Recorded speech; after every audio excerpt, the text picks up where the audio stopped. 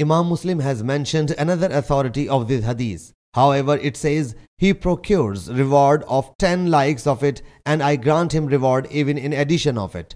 Sahih Muslim Hadith number 6775.